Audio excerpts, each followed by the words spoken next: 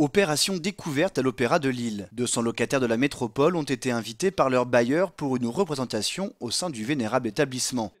Au programme, des reprises de chansons de comédies musicales américaines. Nous souhaitons aujourd'hui euh, permettre à nos clients, nos locataires de la métropole lilloise, de découvrir un lieu que peut-être ils ne connaissent pas parce qu'on ne rentre pas facilement euh, euh, dans un opéra et de venir donc assister à une représentation exceptionnelle. Et après une heure et demie de concert, les avis sont tous unanimes. Très très beau, avec beaucoup de puissance dans les voix et euh, bah, très agréable, euh, plus d'une heure euh, dont on ne voit pas le temps passer. C'est la première fois, c'était pour moi une inauguration.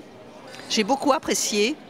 l'opéra, c'est très très. Enfin, le, l'établissement l'opéra, c'est très beau. On a vu qu'il y avait Cendrillon qui allait passer au mois de mai, je crois, l'année prochaine. Donc on va essayer de revenir pour voir le spectacle. C'est grâce à une annonce parue dans leur journal qu'ont été sélectionnés les invités. Premiers à répondre, premiers à recevoir leur place, une manière pour l'opéra de toucher un autre public. On a été sollicité par Villogia, comme un nombre important de partenaires de l'opéra peuvent nous solliciter.